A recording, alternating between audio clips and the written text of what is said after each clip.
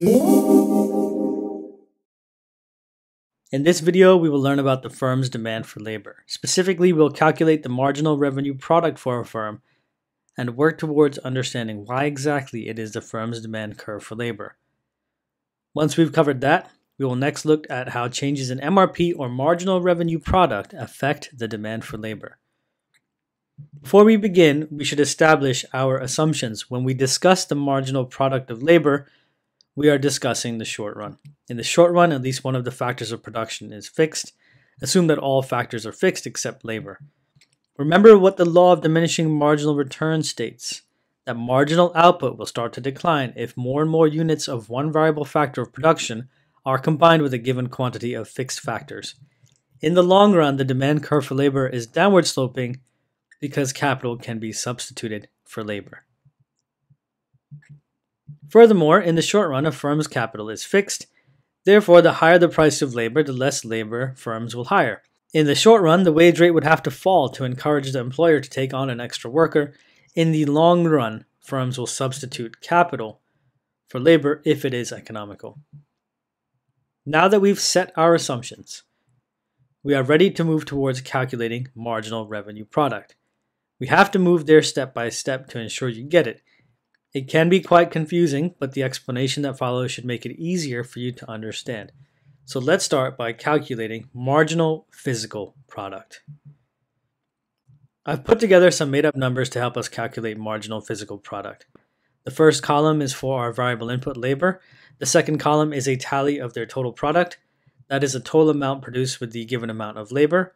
Third is marginal physical product. This is the difference between the current level of output and the previous level of output divided by the change in the number of workers.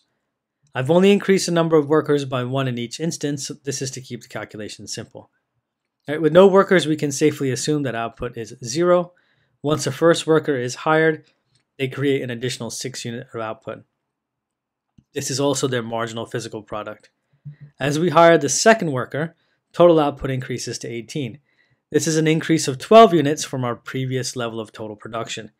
Again, we've only hired one worker, so we divide that increase of 12 by 1 to give us a marginal physical product of 12. We continue this calculation all the way down through to the end, and you'll notice that the marginal physical product is decreasing. This is exactly what we'd expect given the law of diminishing marginal returns. The final column contains the price of the product. This is constant at $20, indicating that the firm is operating in a perfectly competitive market. This won't always be true in all problems, so bear that in mind. Now that we've completed step one, we can now move on to calculating marginal revenue product and contribution. Let's use the information we just calculated to determine MRP and contribution. Columns 1 to 4 are identical to what we've just seen.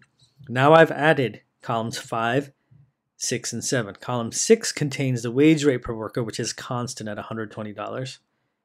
This wage rate is set in the perfectly competitive labor market. Later on in this unit, you'll see how wages are determined in perfectly competitive markets. For now, let's work with a constant wage rate of $120, and later we'll look at why it remains the same. In column 5, we have marginal revenue product. Marginal revenue product is the additional amount of revenue earned by a firm after employing an additional unit of labor. We can calculate that by taking the marginal physical product and multiplying it by the product price. In this case, we already have that information, so now we will just calculate each one. For the first worker, we multiply 6 times $20 for a marginal revenue product of $120. Once the second worker has been employed, our marginal revenue product is equal to 12 times 20, which is $240. We continue this through the sixth worker whose MRP is equal to $100. In the final column, we have our contribution. That is essentially the amount over the wage rate the worker is contributing to the firm's profit.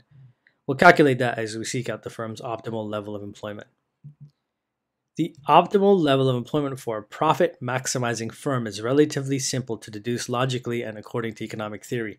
The firm will employ workers as long as the worker's marginal revenue product exceeds their wage rate. Once MRP is equal to the wage rate, the employer will stop hiring more workers. If the wage rate is above the MRP of the worker, then the firm will not employ them. Let's check each instance one by one. For the first worker, the MRP is equal to the wage rate, but we're looking for MRP equal to the wage rate when MRP is falling, not rising. MRP rises to $240 with the second worker, and the wage rate is $120. This gives the second worker a contribution of $120. The third worker generates an additional $160 in revenue and costs $120. Thus, their contribution is $40. The fourth worker adds an additional $140 and costs $120, bringing their contribution to $20. And as MRP is falling, we know we are approaching our equilibrium level of employment.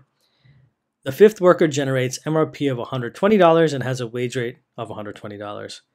With a contribution of zero, we have reached our equilibrium level of employment for this firm.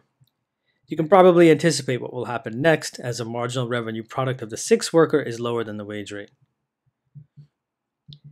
If the firm hires one more worker, they will lose $20 by employing them. Since the wage rate is greater than the additional revenue gained by employing this worker, the firm will not hire the sixth unit of labor. This topic is a little challenging, so I'm providing an example for you to try. Stop the video here and try to complete this table. Calculate total revenue product and marginal revenue product. Pause the video now and I'll share the answer shortly. Your answers should match the table here. Check your work against the answers given. If you've made a mistake or yours doesn't quite match up, leave a comment and let's see if we can solve the problem together. Using this information, we're now going to try and determine the amount of workers a firm would hire at different wage rates. Consider how many workers a firm would hire if the weekly wage for workers is $50, $30, and $25. Pause the video here to answer the questions by yourself before continuing. You should have selected the following answers. If you weren't able to correctly answer these questions, explain why below and we can work on the answer together. All of this work brings us here. The MRP represents the firm's demand curve for labor. Essentially, the maximum amount a firm is willing to pay an employee is equal to the additional revenue that worker generates. It is fairly logical for the profit maximizing firm. As the wage rate falls from W1 to W2, there is an increase in the quantity demanded of labor by the firm from QL1 to QL2. Remember, in the short run, the firm faces diminishing marginal returns of labor and thus will only employ more labor at lower wage rates.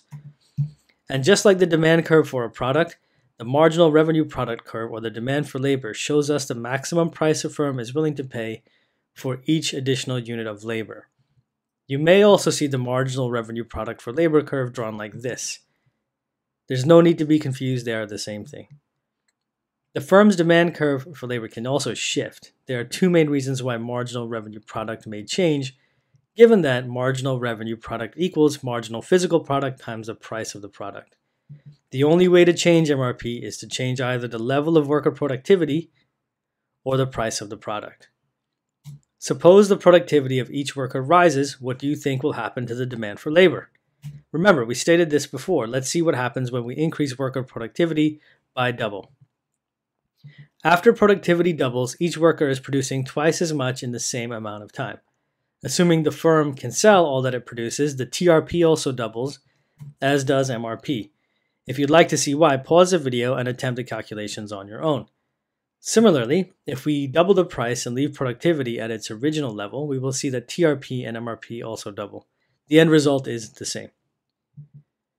Thus, an increase in the physical productivity of labor or the price of the product will cause the MRP or the firm's demand for labor to increase and shift rightwards. Conversely, decreasing the physical productivity of labor or the price of the product will cause the MRP or demand for labor to decrease and shift to the left. By this point, you should have a better understanding of how to calculate marginal revenue product and its implications for the quantity of labor employed by a firm. Additionally, you should be able to analyze changes in MRP and understand how they affect the demand for labor. If you have any questions or comments, leave them below and let's try to work through them together. That's us done for now, and I'll see you in the next one.